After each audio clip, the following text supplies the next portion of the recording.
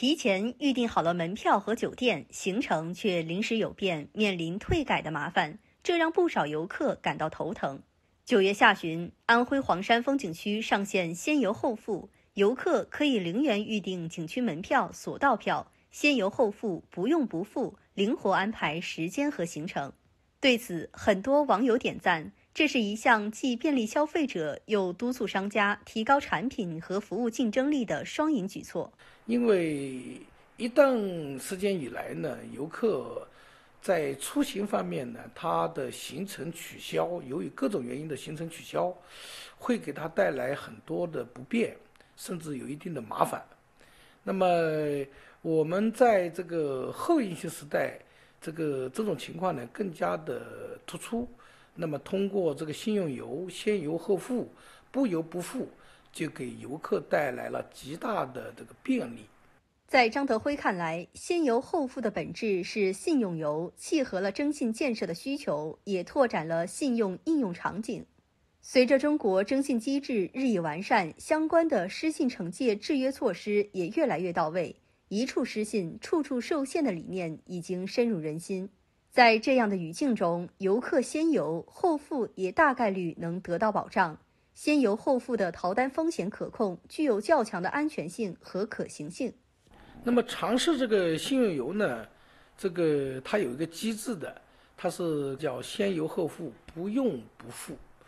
但是呢，如果到期以后，账期到了以后，一个月，账期到了以后，因为你的账户余额不足以支付，对吧？那么这个里面呢？我们有一个机制，就第三方的平台和我们股份公司联手来兜这个底。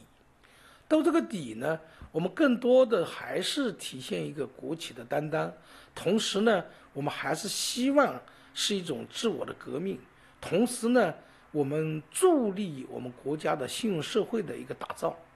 对游客来说，外出旅行需要做好提前预定，但是计划往往赶不上变化，退订改期的情况不可避免。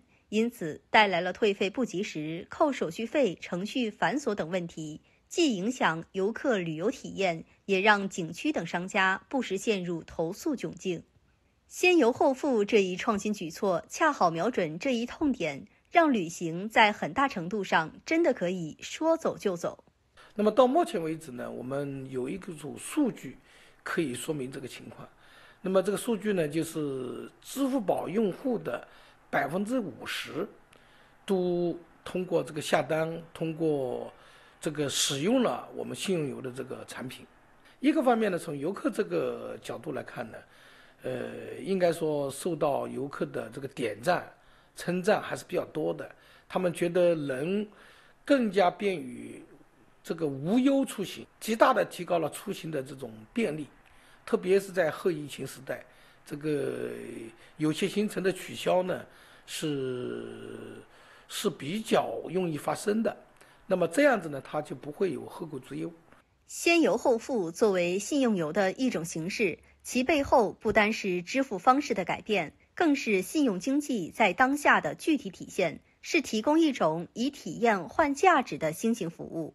如果产品服务质量不过关，消费者则可能会拒绝买单。这就可以倒逼旅游产品服务提供者提质增效，关注消费者体验。